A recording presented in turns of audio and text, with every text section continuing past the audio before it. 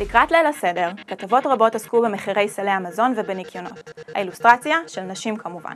בוויינט ובוואלה, בכתבות שעסקו במחירים של סלי המזון לפסח, הופיעו אילוסטרציות של נשים שעושות קניות.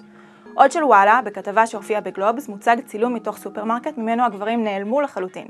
בכיכר השבת הופיעו תמונות של ילדות מנקות. תמונות אילוסטרציה של נשים מאותתות לקוראות ולקוראים שהכתבה המדוברת פונה לנשים. יותר מזה, הן מקבלות תמונה בראש שמי שהכי טבעי שיעשו את העבודות האלו הן נשים.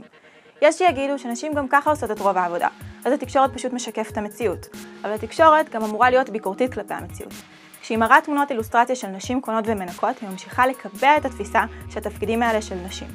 אפשר גם אחרת, בדה מרקר הציגו, תשמור השם, רק גברים קונים ומוכרים. בשתי תוכניות כלכליות חשובות, תוכנית חיסכון והכל כלול, הוצגו גם גברים וגם נשים, ובתוכנית חיסכון אפילו מודגש, שלא מדובר רק במלאכות של נשים. יצאתי לחופשה, אה, זה לא באמת חופשה, אה, כי אני עובד. אני ואשתי מנקים רוב היום את הבית. ככה זה כשאישה מגישה תוכנית כלכלית. בלילה כלכלי הגברית יותר, לעומת זאת, לא הייתה אפילו התייחסות לעבודות האלו בשתי התוכניות שלפני ליל הסדר. פסח זו הזדמנות לשפוך אור על עבודות הבית השקופות, ולהזכיר שלא מדובר רק באחריות של נשים, אלא של כל בני הבית.